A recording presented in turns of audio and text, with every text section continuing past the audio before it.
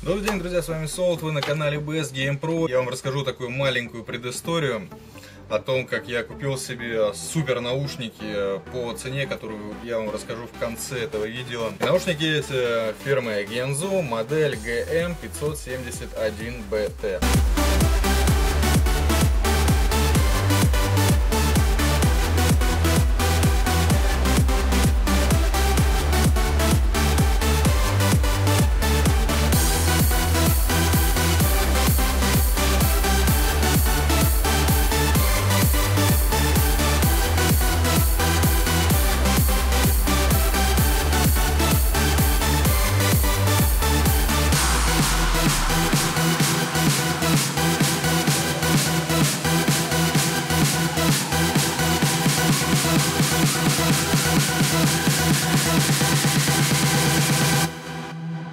Итак, собственно говоря, с чего все началось. А, просыпаюсь я с утра, смотрю а, мои наушники, порваны, разорваны в клочья. Мой сынуля поиздевался над ними как только можно. В общем, опять я расстроился, остался без ушей.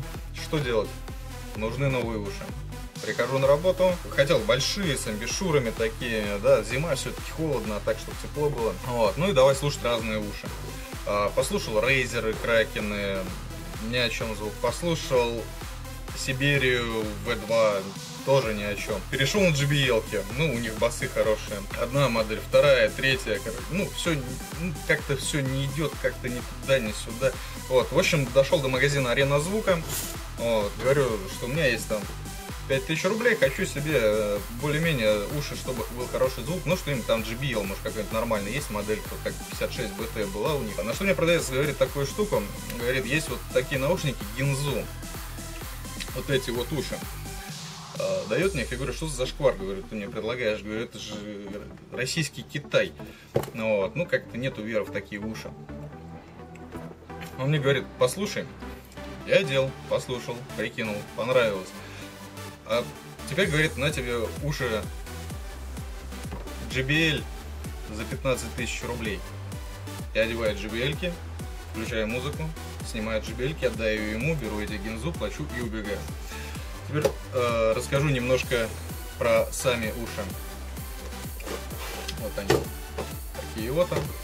А, внешне дизайн уши один в один, как маршалы.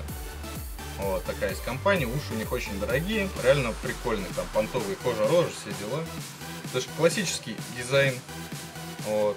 А, получается квадратные амбишуры, не очень большие, но уши закрывают. На правой амбишуре, на правом ухе а, есть кнопочки управления. Перемотка мелодии, перекидка музыки. По интерфейсам у него разъем мини-джек и микро-USB.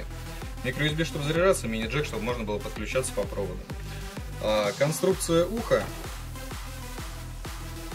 чему он к подголовнику цепляется, металлическая. Не 360 градусов, даже не 180, но они вертятся, в принципе, удобно. На голове сидят обалденно. Ну, выглядят, может быть, не очень эстетично, но сидят очень обалденно, очень мягкие абишуры, очень хорошие.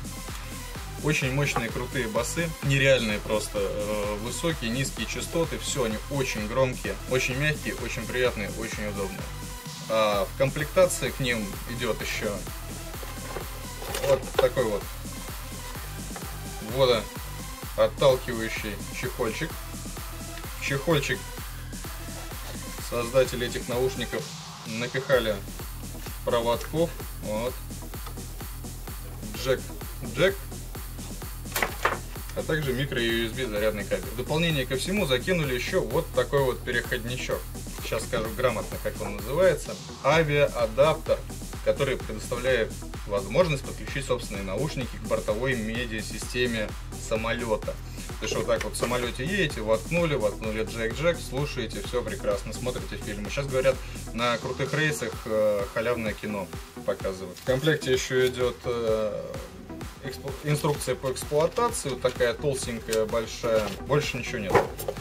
Так что такая вот минималистичная коробочка, в которой сидят неприлично крутые уши Ginzu GM571BT. Еще раз продемонстрирую. Вот такие вот они обалденные, классные, удобные, суперские наушнички. Помимо всего прочего, что они могут вот так вот передвигаться, конструкция наушников позволяет их еще вот так вот складывать, чтобы они были аккуратные, мягкие, убрать их там в чехольчик, вот таким вот образом, оп, надавили, все, и вот они такие вот стали аккуратнее, компактные. Чехольчик убрали, спрятали и пошли гулять под дождем, они не намокнут. А теперь пройдемся по техническим характеристикам, немножко я их почитаю с упаковки, потому что эти я уши выбираю себе по звуку, а не по их характеристикам. Но если кому-то будет интересно, я их сейчас зачту. А, версия Bluetooth 3.0, аккумулятор 360 мА, литиполимерный, время зарядки до 2,5 часов, до 8 часов работают от одного заряда, а, диаметр динамика 40 мм, а, сопротивление 32 Ом, частотный диапазон 20 Гц на, до 20 кГц, чувствительность при 1 кГц 110 дБ, что-то КНИ меньше 1% на 100 дБ, мощность 10 мегаватт, вес 160 грамм. Эй, ребят, почему вообще вся демагогия? Стоят они 2000 рублей. 2000 рублей, Карл. 2000 рублей. Bluetooth, уши, офигенным громким звуком. В общем, надо их прийти, послушать и победить. Точнее, купить. Вот, я думаю, они вам понравятся. Ну а с вами был Солод. Подписывайтесь на мой канал, ставьте лайки, пишите комментарии. Пока.